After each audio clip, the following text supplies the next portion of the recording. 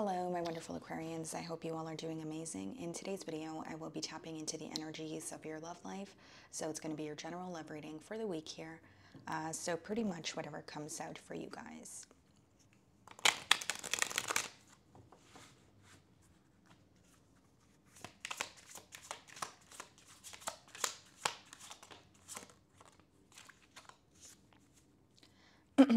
okay, so we have two cards here, guys. We have player, uh, charming, manipulative, karmic, being tested. Okay. And then we have divine timing, wrong timing, stalemate, perfect timing, or waiting. Okay. So clearly, you know, timing or the um, timing of this bond is there's something to do with the timing of the bond, I should say. Okay. Time is playing a large factor here um, when it comes to this relationship. Now, it's interesting because it also says, you know, stalemate, a wrong timing, but then it says perfect timing and waiting. So I wonder if something feels very stuck at this time, and it could be this person waiting for the right time to maybe, you know, fix something with you, solve something with you, or maybe you just feel like it was. Um, something happened where maybe you think that it happened way too quickly or you feel like things could have been um, handled in you know a different manner here because again, it speaks about wrong timing, but then it also says perfect timing. So it could be that you feel maybe you met this person at a very uh, you know, um, like a time where things felt very all over the place, and maybe you do want to connect to them or connect with them again, but you want it to be um, when things are a lot more mellow or things are a lot more easygoing here. But it does say stalemate and waiting, so I do feel like there may be an energy of, you know, you feeling stuck or feeling like things have been stuck in this connection for quite some time.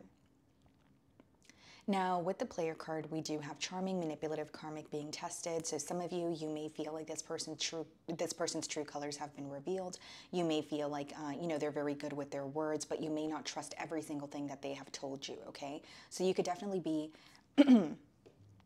questioning this person's intentions, um, and you could feel very connected to them, but also there's a lack of, you know, trust here. So let's see what's going on.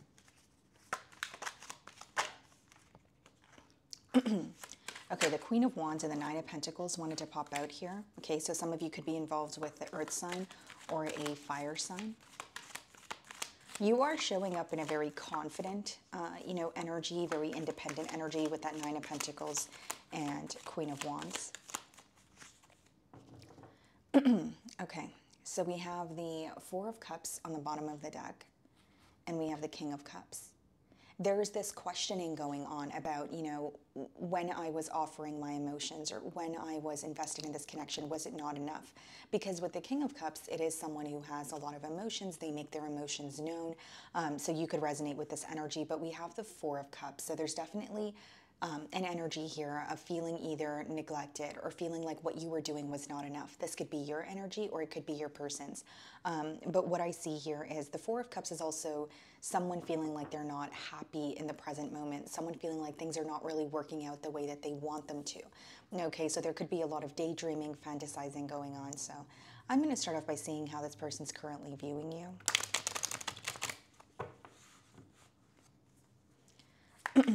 okay.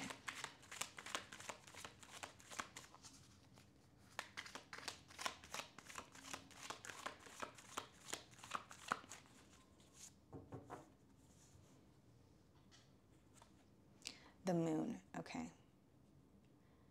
So this person's viewing you as someone that, well, first of all, you know, when the moon comes out as, or especially in the position of how someone is viewing you, they don't know how to feel right now. There's a lot of mixed emotions, and I feel like there's a lot of uncertainty surrounding you as well.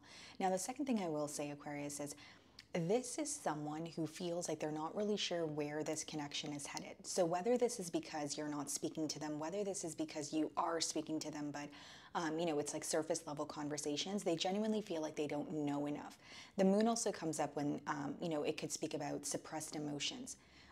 so how they're viewing you as someone who is moving in a very discreet manner, possibly not really being vulnerable with them at this time, and they're not really sure where this is headed. I think that this person is viewing you as someone that they have a lot of questions for, or they're questioning the bond, right? So the moon comes out when there are things in the unknown, when there's some sort of confusion, when there's some sort of uncertainty.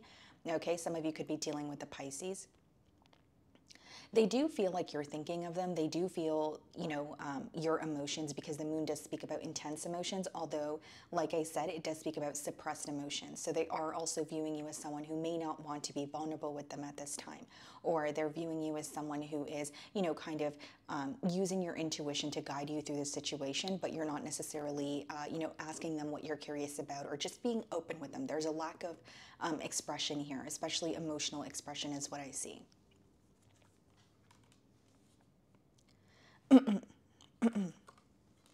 Okay. So the Nine of Swords and the Two of Pentacles coming out in the challenge position kind of says a lot here. Not only can this speak about juggling, uh, you know, or a back and forth energy, with the Nine of Swords, it could also speak about someone who feels like their actions are stressing them out. So, you know, this person could be thinking about how they treated you in the past, or they could be just thinking about the fact that they were very indecisive, and they could be thinking about what it led to. And so with the Nine of Swords, it seems to be a lot of worry. Um, you know, they seem to be very stressed out here, could possibly even be losing sleep over this connection.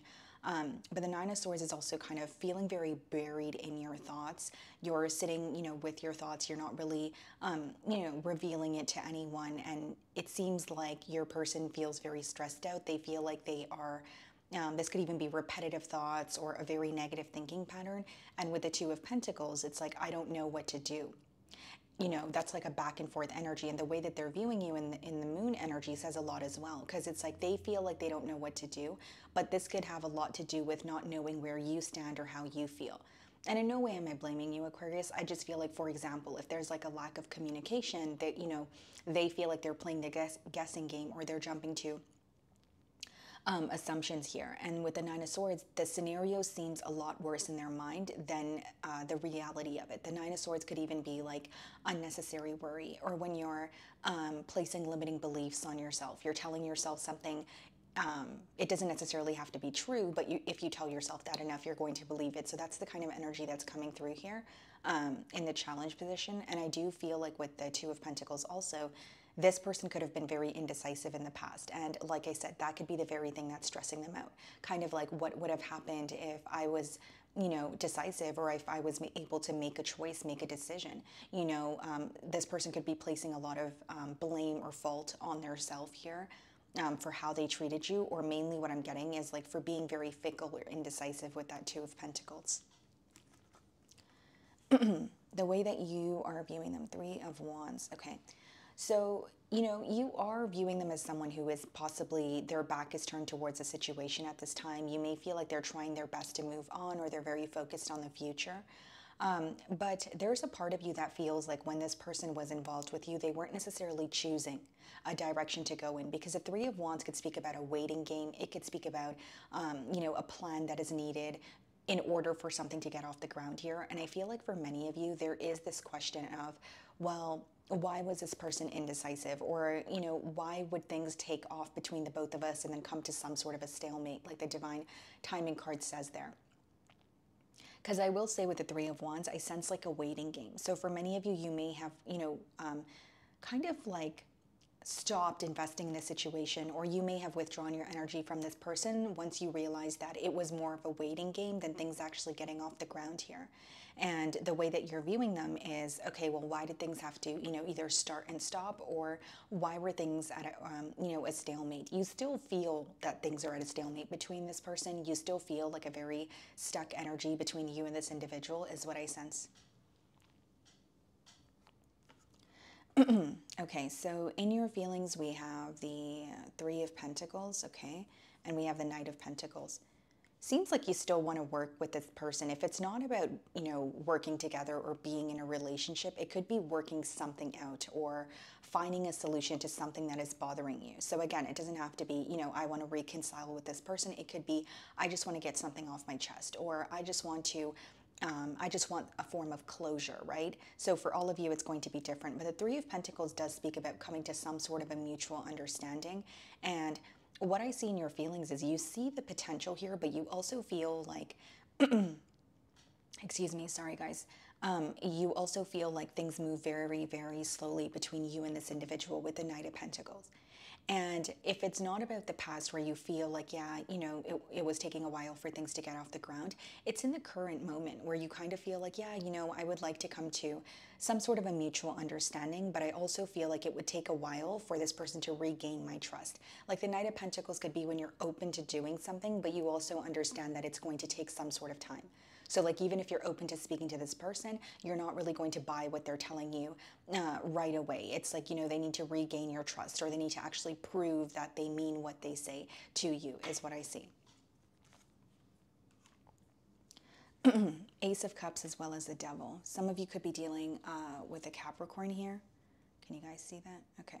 So some of you could be um, dealing with the Capricorn here, but what I see is there's like a part of you that wants a new beginning, and then there's a part of you that feels like this is very unhealthy or this is very toxic. I'm getting an energy of some of you feeling like you want to either give this person another chance, or sometimes when you think about the situation, you're like, okay, was, you know, did I give this person the benefit of the doubt? Or if it's not about that, it's kind of like, did I explore, you know, um, all the potential that there was? And I feel like the answer is yes, you have explored it because there is a reason why the devil is coming out with the Ace of Cups. It's like you may desire a new beginning, but you're also aware of, you know, something that's just very repetitive or something that just feels very toxic.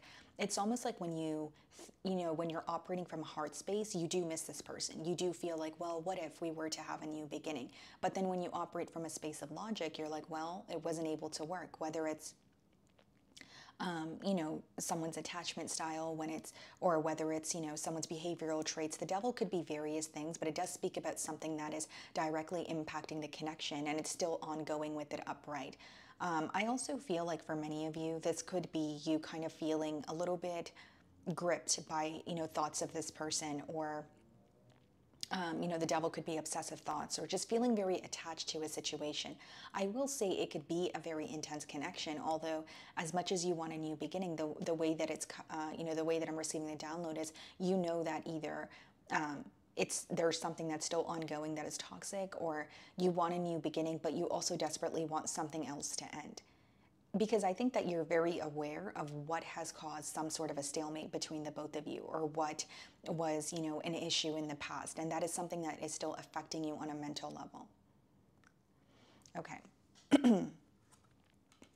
the Nine of Swords is being clarified by the Two of Swords, Two of Pentacles, Seven of Swords. Yeah.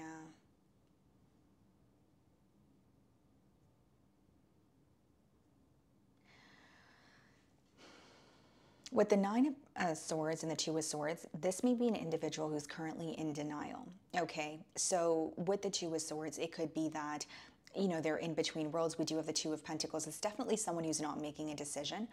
Um, and, you know, again, the Two of Swords does speak about denial or not seeing something clearly. It's either quite literally not seeing something clearly or choosing, picking and choosing what you want to acknowledge at this time.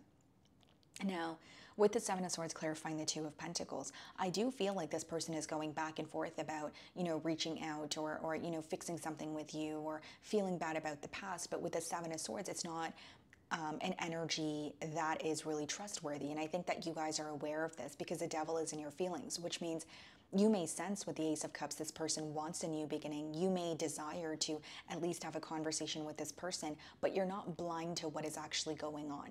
So I feel like this person's true colors have been revealed and you're kind of like accepting it for what it is.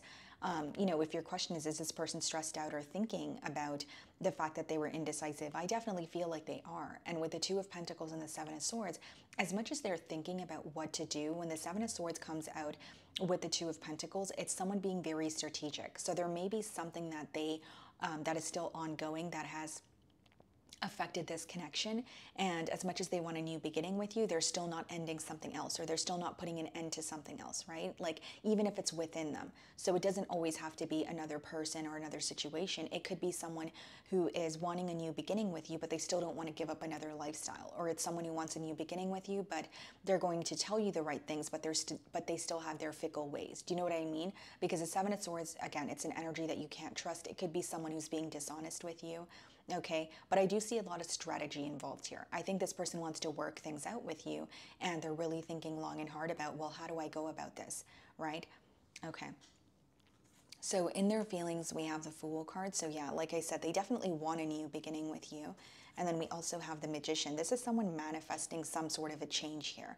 But we have the Seven of Swords, we have the Devil, we have the Nine of Swords. There is an energy of this person almost wanting the situation to work out how they want it to work out. And, you know, this could be someone who is willing to say anything or do anything to have another chance with you. But I feel like for many of you, you may view them as, like the card um, says, uh, the player card, like charming or manipulative, that sort of thing. I do feel they want a new beginning. It's just they're not releasing something that is affecting this connection. You know, just being completely transparent here. And this is someone who's willing to fight for a connection with you, but they're also not willing to release something that no longer serves them. So it's, you know, all about perspective and all about, you know, what it is that you desire here. Yeah, we have the Seven of Wands and we also have the Six of Wands. They really want your attention and they're willing to speak to you, but there are certain things that they're still very defensive about, which of course you're going to know your situation better than I will. But Seven of Wands could be someone who is, um, you know, standing their ground, or there's something here in particular that they know you are you disagree with, but they may sweep that under the rug, but they're willing to speak about other things. So it's like they want your attention, they want to speak to you, but there are certain things that they're not ready to speak about. There are certain things that they're still very defensive about, right? Whether it's defensive because they genuinely don't want to speak about something, or whether it's defensive because they're feeling some sort of guilt. Okay um, but i do see they really do want your attention. They do uh, you know they are viewing you as someone who's very successful someone who receives a lot of attention um, and they may even feel like very very connected to you but there's something that they're not changing is what i'm getting persistently. Um, so we have the star card which is your energy okay and the potential outcome and we also have the four of wands. Wow I see a lot of healing taking place here. What's the star? The Two of Wands, the Four of Wands, Death card. Yeah. So I see a lot of healing taking place here, guys, but with the Two of Wands, you know, there may be um, an energy of you kind of finalizing something where, you know, in terms of like, do I really want to wait, for example, if this is at a stalemate, or do I want to move forward? Um, you know, you have the world in your hands. That's what the Two of Wands speaks about. And it seems to be your energy because it's uh, clarifying the star card, which means some of you, the ball is in your court, or you have a decision to make in terms of what do I want moving forward? Um, and it seems that you have full control over uh, your reality or the reality of the situation at this time. We have the Four of Wands, which, like like I said, speaks about reconciliation or someone wanting to come together. Um, and I did express that's how they're feeling, but with the death card clarifying the Four of Wands, I can read this two ways. It's either in order to come together with you, something else needs to end, like I mentioned, or number two, this person may say the right things to, um, you know, come together with you, or they may come in wanting a reconciliation. But when we have the death card, it speaks about divine intervention or something. So, for example, if this person is, if it's something to do with their behavioral traits and they're not changing that, but they're still wanting to connect with you, then the connection is just going to end by default because what they're doing is going to be revealed. So with the Four of Wands and the Death card, that could be a possibility for a reconciliation, but because it's not being built on a firm foundation, it could cause an ending. So I do see someone who is really again feeling connected to you and wanting to connect to you wanting your attention wanting to speak to you but it's almost like they're wanting to have their cake and eat it too or they're wanting to connect with you but there's also something else they're not ready to release. Um, the death card could speak about an ending or it could also speak about transformation but the main message i'm getting is in order for a reconciliation to be successful this person can't have both of the things that they want or they can't be in a connection with you but continue doing something else that's no longer serving them. Okay so, my wonderful Aquarians, that is what I'm getting for you this week. I really do hope you were able to find a message that resonated with you here today. And uh, thank you so much for your time.